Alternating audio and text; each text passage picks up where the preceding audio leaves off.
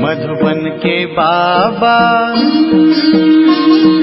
मधुबन के बाबा मुरली वाले आपका क्या कहना? आपका क्या कहना? ओम शांति। आज 27 मार्च 2022 के अव्यक्त बाप दादा के मधुर महावाक्य सुनेंगे। जिसकी रिवाइज डेट है 7 मार्च 1990 याद रखेंगे हम तेरी दिव्य कहानी। मुरलीधर और मुरली की तुम थे खूब दीवाने। मुरलीधर और मुरली की तुम थे खूब दीवाने। याद रखेंगे हम तेरी दिव्य कहानी। दादी जी, याद रखेंगे हम तेरी दिव्य कहानी।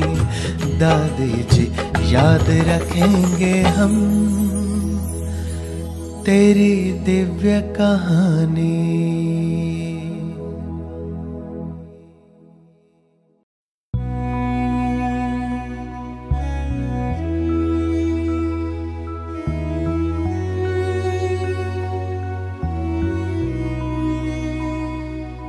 मुरली का सार है।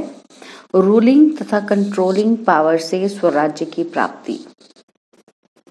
तो बड़े ही प्रेम से, एकाग्रता से सुनते हैं बाबा के आज अव्यक्त महावाक्य। आज बच्चों के स्नेही बाप दादा हर एक बच्चे को विशेष दो बातों में चेक कर रहे थे। स्नेह का प्रत्यक्ष स्वरूप बच्चों को संपन्न और संपूर्ण बनाना है। हर एक में रूलिंग पावर और कंट्रोलिंग पावर कहाँ तक आई है? आज यह देख रहे थे। जैसे शरीर की स्थूल कर्मेंद्रियाँ आत्मा के कंट्रोल से चलती हैं, जब चाहे, जैसे चाहे और जहाँ चाहे, वैसे चला सकते हैं और चलाते रहते हैं। कंट्रोलिंग पावर भी है। जैसे हाथ पाँव स्थूल शक्तियाँ हैं, ऐसे ही मन, बुद्धि, संस्कार आत्मा की सूक्ष्म शक्तियाँ हैं।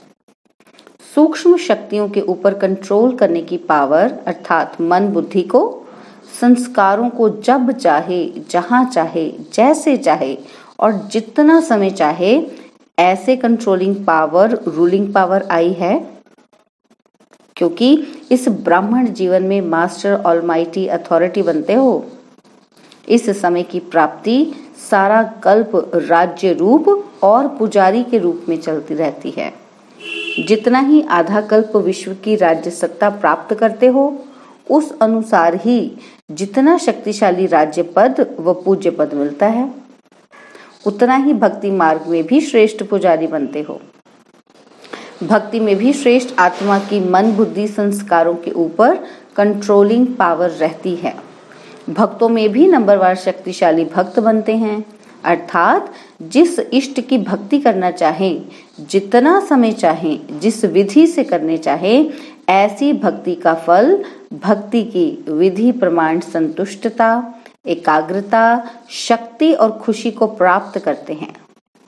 लेकिन राज्य पद और भक्ति के शक्ति की प्राप्ति का आधार, यह ब्राह्मण जन्म है, क्योंकि सारी प्राप्तियाँ हमने कब करनी है? अभी करनी है, इस ब्राह्मण जन्म में ही करनी है। तो बाबा ने कहा कि सत्युग में हम जो भी बनना चाहते हैं राज्य पद उसके बाद भक्ति मार्ग शुरू होता है उसमें भी श्रेष्ठ भक्त। तो ये सारी प्राप्तियों का आधार क्या है? ये ब्राह्मण जन्म है। तो इस संगम युग का छोटा सा एक जन्म सारे कल्प के सर्व जन्मों का आधार है। जैसे राज्य करने में विशेष बनते हो, वैसे ही भक्त भी विशेष बनते हो, साधारण नहीं। भक्त माला वाले भक्त अलग हैं। लेकिन आप आपे ही पूज्य, आपे ही पुजारी, आत्माओं की भक्ति भी विशेष है। तो आज बाप दादा बच्चों के इस मूल आधार जन्म को देख रहे थे। आदि से अब तक ब्राह्मण जीवन में रूलिंग पावर कंट्रोलिंग पावर सदा और कितनी परसेंटेज में रही है। आज बाबा ये चेक कर रहे हैं कि हमारे में रूल करने की पावर कंट्रोल करने की पावर कितनी आई है, किस परसेंटेज में रही है। इसमें भी पहले अपने ही सूक्ष्म शक्तियों की रिज़ल्ट को चेक करो। बाबा कहते, रिज़ल्ट में क्या दिखाई देता है? क्या दिखाई देता है? बाबा कहते, इन विशेष तीन शक्तियों, कौन सी? मन, बुद्धि, संस्कार पर कंट्रोल हो तो इसको ही स्वराज्य अधिकारी कहा जाता है। मन हमारे वश में हो, बुद्धि हमारे वश में हो, संस्कार हमारे वश में हो तो जिसके ये तीनों शक्तियाँ वश में हैं, वो स्वराज्य अधिकारी कहा जाता है। तो यह सूक्ष्म शक्तियाँ ही स्थूल कर्मेंद्रियों को संयम और नियम में चला सकती हैं। रिज़ल्ट क्या देखी? बाबा ने क्या देखा फिर? बाबा कहते, जब, जहाँ और जैसे इन तीनों बातों में अभी यथाशक्ति है। सर्वशक्ति नहीं है, लेकिन यथाशक्ति है, जिसको डबल विदेशी अपनी भाषा में समथिंग अक्षर यूज़ करते हैं। तो इसको ऑल माइटी अथॉरिटी कहेंगे? माइटी तो है, लेकिन ऑल है। वास्तव में इसको ही ब्राह्मण जीवन का फाउंडेशन कहा जाता है। जितना जिसका स्व पर राज्य है, अर्थात स्व को चलने और सर्व को चलाने की विधि आती है, वही नंबर आगे लेता है। इस फाउंडेशन में अगर यथाशक्ति है तो ऑटोमेटिकली नंबर पीछे हो जाता है। जिसको स्वयं को चलाने और चलने आता है, वह दूसरों को भी सहज चला सकता है। अर्थात हैंडलिंग पावर आ जाती है। सिर्फ़ दूसरे को हैंडल करने के लिए हैंडलिंग पावर नहीं चाहिए। जो अपनी सूक्ष्म शक्तियों को हैंडल कर सकता है, वह दूसरों को भी हैंडल कर सकता है। तो स्वयं के ऊपर कंट्रोलिंग पावर रूलिंग पावर सर्व के लिए यथार्थ हैंडलिंग पावर बन जाती है। क्योंकि वो आत्मा खुद पावरफुल हो गई ना। तो उसकी स्थिति अच्छी है, वो खुद को कंट्रोल कर रही है, खुद पर रूल कर रही है तो वो दूसरों के लिए भी हैंडलिंग पावर उनको भी ये चीज़ें हैंडल करने के लिए शक्ति देती है। चाहे अज्ञानी आत्माओं के सेवा द्वारा हैंडल करो, चाहे ब्राह्मण परिवार में स्नेह संपन्न, संतुष्टता संपन्न व्यवहार करो, दोनों में सफल हो जाएँगे। क्योंकि कई बच्चे ऐसे हैं जो बाप को जानना, बाप का बनना और बाप से प्रीत की रीति निभाना, यह बहुत सहज अनुभव करते हैं। लेकिन सभी ब्राह्मण आत्माओं से चलना इसमें समथिंग कहते हैं। सभी के साथ में थोड़ा प्रॉब्लम महसूस करते हैं, इसलिए समथिंग कहते हैं कि कुछ कुछ के साथ। तो बाबा कहते इसका कारण क्या? बाप से निभाना सहज क्यों लगता है? क्योंकि दिल का प्यार अटूट है। बाबा में प्यार निभाना सहज होता है। जिससे प्यार होता है, उसका कुछ शिक्षा का इशारा मिलना भी प्यारा लगता है। और सदैव दिल में अनुभव होता है कि जो कुछ कहा, मेरे कल्याण के लिए कहा। क्योंकि उसके प्रति दिल की श्रेष्ठ भावना होती है। तो जैसे आपके दिल में उनके प्रति श्रेष्ठ भावना है, वैसे ही आपकी शुभ कामना का रिटर्न दूसरे द्वारा भी प्राप्त होता है। जैसे गुम्बज में आवाज़ करते हो तो वही आवाज़ लौटकर आपके पास आती है। तो जैसे बाप के प्रति अटूट, अखंड, अटल प्यार है, श्रेष्ठ भावना है, निश्चय है, ऐसे ब्राह्मण आत्माएँ नंबरवार होते हुए भी आत्मिक प्यार अटूट, अखंड है, ऐसा है। बाबा कहते वैरायटी चलन वैरायटी संस्कार देखकर प्यार करते हैं तो वह अटूट और अखंड नहीं होता। किसी भी आत्मा के अपने प्रति व दूसरों के प्रति चलन अर्थात चरित्र व संस्कार दिल पसंद नहीं होंगे तो प्यार की परसेंटेज कम हो जाती है। मतलब कि जिसके हमें लगे कि मेरे जैसी आदत नहीं है, जैसा मुझे अच्छा लगता है, इसमें नहीं है तो हमें वो थोड़ा कम पसंद आता है। जिसको बाबा ने कहा कि उसकी प्रति प्यार की परसेंटेज में कमी आ जाती है। लेकिन बाबा कहते हैं, लेकिन आत्मा का श्रेष्ठ आत्मा के भाव से अगर मैं आत्मा उसको अपने अकॉर्डिंगली जज करती हूँ तो बाबा कहते हैं, ऐसे नहीं, खुद को भी श्रेष्ठ आत्मा के भाव से, आत्मिक प्यार से। उसमें परसेंटेज नहीं होती। जब हम आत्मा के लेवल पर आत्मिक भाव से डील करते हैं तो उसमें फिर परसेंटेज नहीं आती। क्योंकि वो भी आत्मा दिखाई देती है, बाबा का बच्चा दिखाई देती है। तो बाबा कहते कैसे भी संस्कार हो चलन हो, लेकिन ब्राह्मण आत्माओं का सारे कल्प में अटूट संबंध है। ईश्वरीय परिवार है। बाप ने हर आत्मा को विशेष चुनकर ईश्वरीय परिवार में लाया है।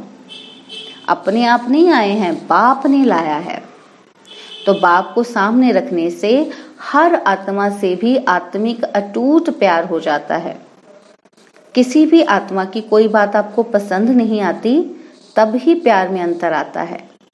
उस समय बुद्धि में यही रखो कि इस आत्मा को बाप ने पसंद किया है। अवश्य कोई विशेषता है तभी बाप ने पसंद किया है। शुरू से बाप दादा बच्चों को ये सुनाते रहते हैं कि मानो 36 गुणों में किसी में 35 गुण नहीं है, लेकिन एक गुण भी विशेष है, तब बाप ने उनको पसंद किया है।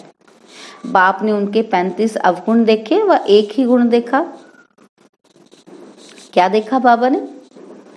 सबसे बड़े से बड़ा गुण व विशेषता बाप को पहचानने की बुद्धि, बाप के बंधने की हिम्मत, बाप से प्यार करने की विधि है, जो सारे कल्प में धर्म पिताओं में भी नहीं थी, राज्य नेताओं में भी नहीं, धनवानों में भी नहीं, लेकिन उस आत्मा में है।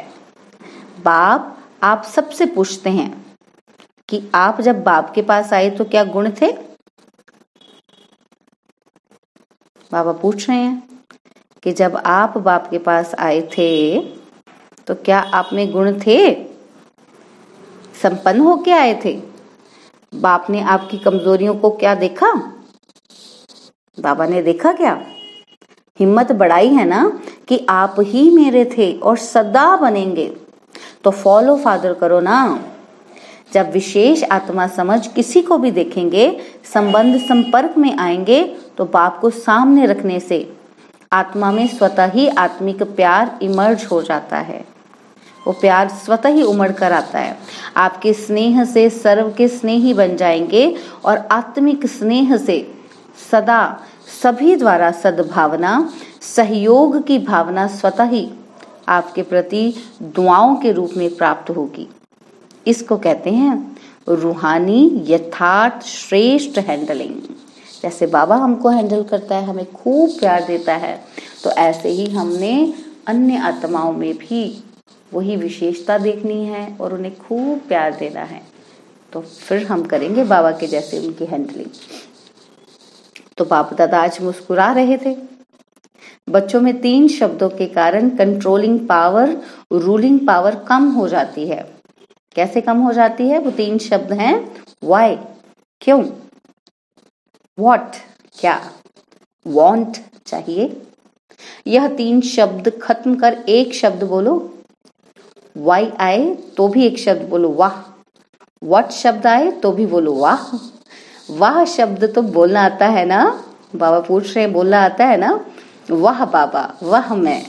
और वाह ड्रामा। सिर्फ़ वाह बोलो तो ये तीन शब्द खत्म हो जाएँगे। उस दिन भी सुनाया ना कि बाबा दादा ने कौन सा खेल देखा? आप लोगों का एक चित्र पहले का बनाया हुआ है, जिसमें दिखाया है कि योगी योग लगा रहा है, बुद्धि को एकाग्रचित कर रहा है, बैलेंस रख रहा है, बैलेंस की तराजू दिखाई है। जितना बुद्धि का बैलेंस करता, उतना कोई बंदर आकर बैठ जाता। इन तीनों बातों के बंदर आ जाते हैं तो बैलेंस क्या होगा? हलचल हो जाएगी। बैलेंस ही नहीं रहेगा। तो यह तीन शब्द बैलेंस को समाप्त कर देते हैं। बुद्धि को नचाने लगते हैं। बंदर आराम से बैठ सकता है क्या? और कुछ नहीं तो पूंछ को ही लाता रहेगा। तो इसमें भी बैलेंस ना होने के कारण बाप द्वारा हर कदम में जो दुआएँ मिलती हैं, वह आत्मिक स्नेह कारण परिवार द्वारा जो दुआएँ मिलती हैं, उससे वंचित हो जाते हैं। जैसे बाप से संबंध रखना आवश्यक है, ऐसे ईश्वरीय परिवार से संबंध रखना भी अति आवश्यक है। सारे कल्प में नंबर वन आत्मा, ब्रह्मा, बाप और ईश्वरीय परिवार के संबंध संपर्क में आना है। ऐसे नहीं समझना अच्छा बाप तो हमारा है, हम बाप के हैं। यह भी पास विद ऑनर की निशानी नहीं है, क्योंकि आप सन्यासी आत्माएँ नहीं हो, ऋषि मुनि की आत्माएँ नहीं हो, विश्व से किनारा करने वाले नहीं हो, लेकिन विश्व का सहारा बनने वाली आत्माएँ हो। तो विश्व किनारा नहीं, विश्व कल्याणकारी हो। ब्राह्मण आत्माओं की तो बात छोड़ो, लेकिन प्रकृति को भी परिवर्तन करने के सहारे आप हो। देखो, बाबा हमें किस नज़र से देख रहा है? बाबा कहते हैं, आप तो विश्व को छोड़ो, प्रकृति को भी परिवर्तन करना है आपने। बाबा के सहारे हो, सहायक हो। परिवार के अविनाशी प्यार के धागों के बीच से निकल नहीं सकते हो। विजयी रत्न प्यार के धागे के बीच से निकल नहीं सकते। इसलिए कभी भी, किसी भी बात में, किसी स्थान में, किसी सेवा से, किसी साथी से किनारा करके अपनी अवस्था को अच्छा बना करके दिखाऊँ, यह संकल्प नहीं करना। ये वाला संकल्प नहीं करना कि मैं तो अपना ही करूँगा।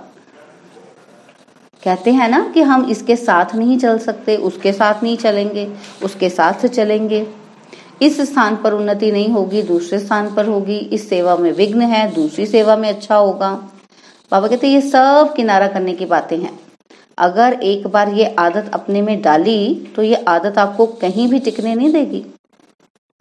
बुद्धि को एकाग्र रहने नहीं देगी, क्योंकि बुद्धि को बदलने की आदत पड़ गई है। टिकती नहीं है बुद्धि।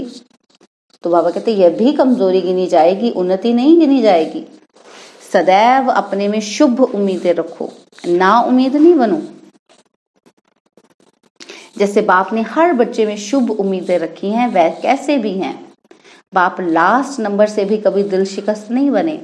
सदा ही उम्मीद रखी तो आप भी ना अपने से, ना अपने से, ना दूसरे से, ना सेवा में, ना उम्मीद दिल शिकस्त नहीं बनो।